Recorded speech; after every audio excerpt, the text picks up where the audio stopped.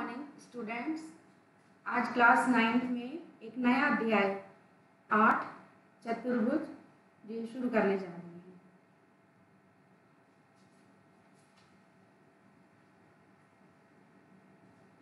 इसके कुछ important points चतुर्भुज।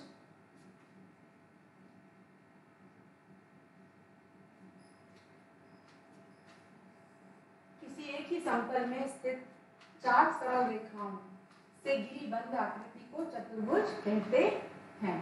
चित्र में A B C D A चतुर्भुज है।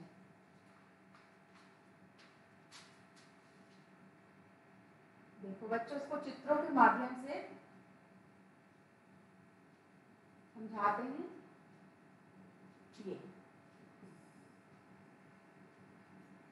ये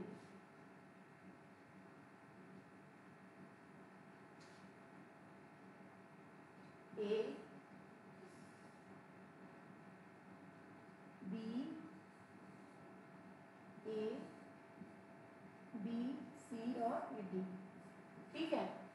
चार जो रेखाएँ हैं, इन से जो बंद आकृति बनी है, उसको कहते हैं चतुर्भुज।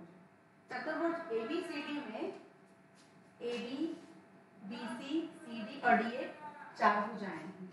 देखिए ये हो गई पहली भुजा, ए बी, दूसरी भुजा, बी सी, तीसरी भुजा सी डी, चौथी भुजा D A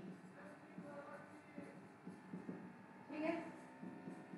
A B B C C D और डी ए। क्या है ये? चारों भुजाएँ और कोण ए, बी, सी और डी। शीर्ष पर बने चार कोण ठीक है? शीर्ष क्या है? ये। इस प्रकार के जो होते हैं, ये कोण कहलाते हैं। ठीक? कोण ए कोण बी कोण सी और कोण डी चतुर्भुज के सम्मुख शीर्षों ए और सी तथा बी और डी को मिलाने पर ए सी और बी डी दो विकर्ण प्राप्त होते हैं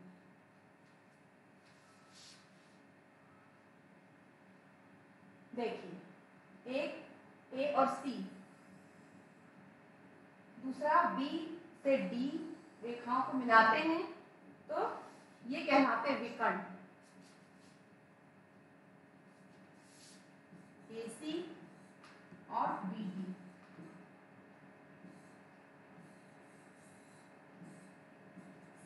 क्या कहलाएँगे? विकर्ण। ठीक है?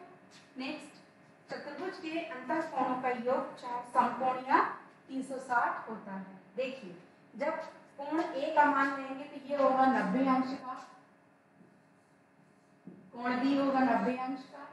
क्योंकि ये समकोण 90 अंश का कोण को समकोण कहते हैं। ठीक है? जब 90 को चार बार प्लस करेंगे ना 90 90 90 और 90 तो स्टूडेंट क्या होगा थ्री सिक्सटी ठीक या इसको चार समकोण भी बोलते हैं।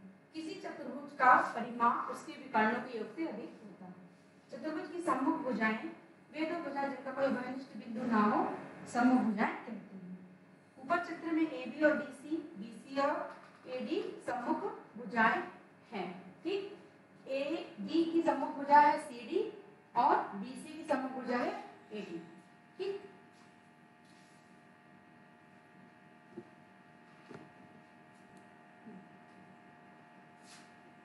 देखिए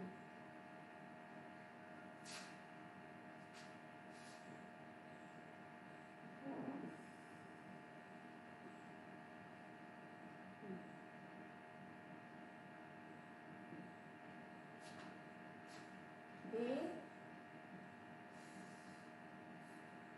ए बी सी और डी ठीक है बच्चों, आपने कौन पढ़ा और भुजाएँ पढ़ी?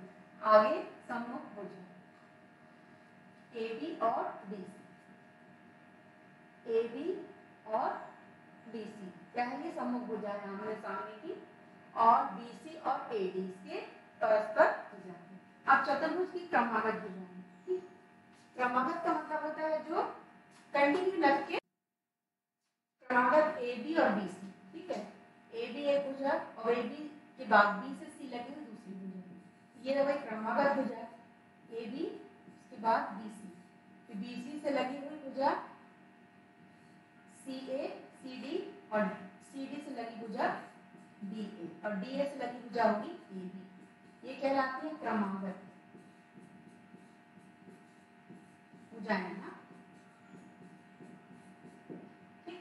चतुर्भुज के सम्मुख कोण चतुर्भुज की वे दो कोण जिनके अंतरित करने वाली भुजाओं में कोई भुजा सन्निष्ठ हो?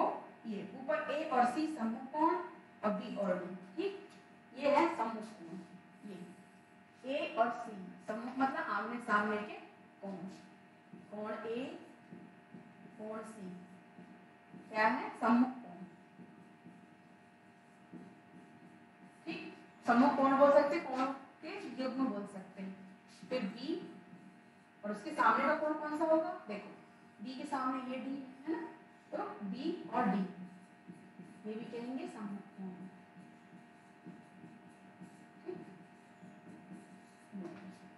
चतुर्भुज के क्रमागत कोण जैसे क्रमागत भुजाएँ होती, वैसे क्रमागत कोण होते हैं, ठीक है? तो क्रमागत कोण होंगे? ए और बी लगे हुए हाँ? ये होंगे। फिर कोण बी सी फिर कोण सी डी कोण डी और कोण ए ये होगा।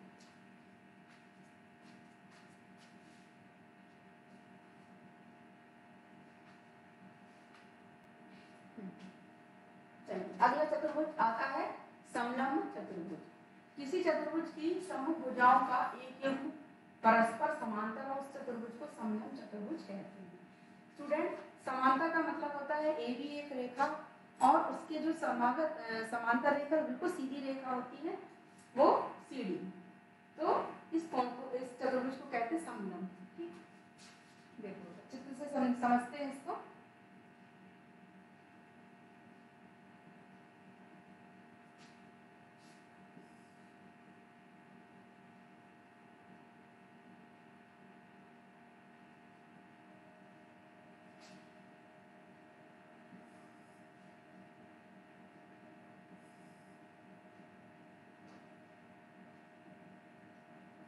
देखिए ये ये हो गया अब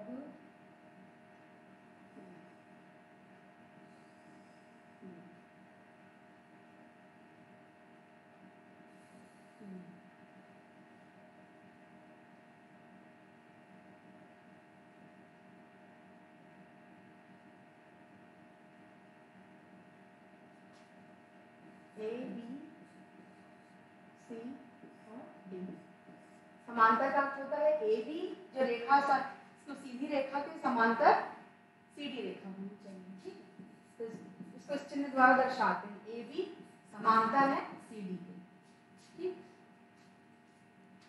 और ए बी सी समलंब चतुर्भुज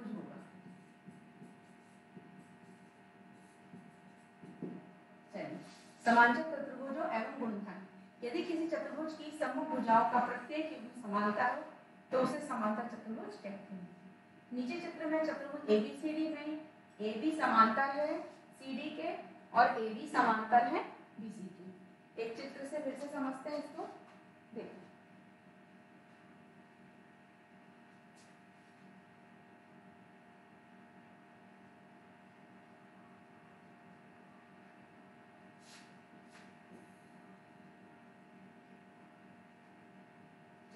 ये हो गया। अब, देखिए A B A B C और डी ठीक? अब ए बी जो रेखा समांतर है, क्षैतिज रेखा है, इसी के अकॉर्डिंग सी डी जो है, वो भी क्षैतिज रेखा है। तो ये भुजा दोनों समांतर है, ठीक?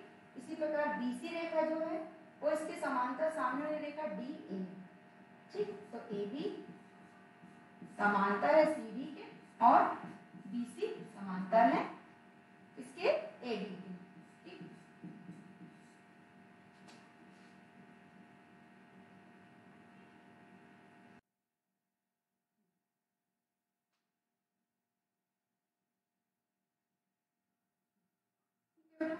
आप, आपको आज हमने चतुर्भुज के बारे में अध्ययन कराया। आपको जितने भी चित्र आज आपने क्लास में सीखे हैं, आप उनको चित्रों को पाँच पाँच बार प्रैक्टिस करेंगी, आप रेखागणित की कॉपी में लिखेंगी और याद करेंगी और परीक्षा की तैयारी